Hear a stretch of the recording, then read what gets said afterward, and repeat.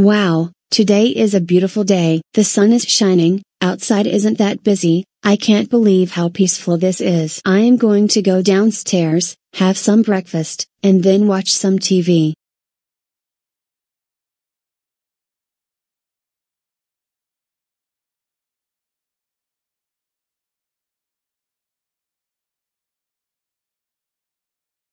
Now, I am going to make my breakfast. Time to watch some TV. Coming up now on Nick Jr. is Peppa Pig. I'm Peppa Pig. This is my little brother George. This is Mummy Pig. And this is Daddy Pig. Peppa Pig.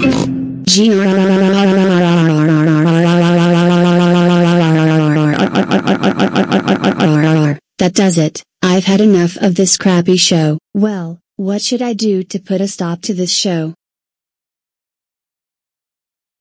Ah, ah. I know exactly what to do. I am going to ground Peppa Pig. Let's go and ground her. Peppa Pig, how dare you become the worst TV character in history? That's it, you're grounded, grounded, grounded, grounded for 6,900 years. Go to your room now.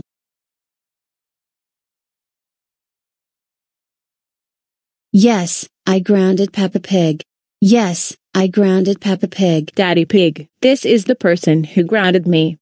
And you deserve it for being such a sussy baka piggy. Go to your room now. You piece of shit. Wha-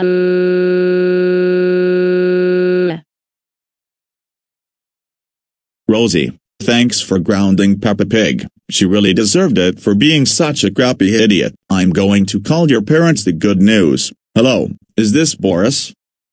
Yes, what is it? Daddy Pig, your daughter, Rosie Anderson, has grounded my daughter. Can you please unground her? Yes, I will unground her when she goes straight home. Alright then, thank you very much Boris. That sounds goodbye. Thank you for your patience. Rosie, you can go home now to get yourself ungrounded. Thank you, Daddy Pig, you're the best.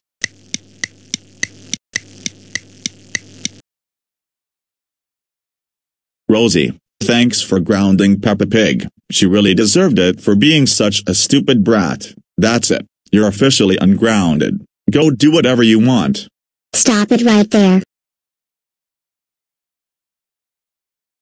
Rosie, how dare you ground my favorite show? That's it. You are grounded, grounded, grounded for life. Go to your room now. No, you're grounded for life. Go to your room now or else you're getting a brutal punishment day. Why?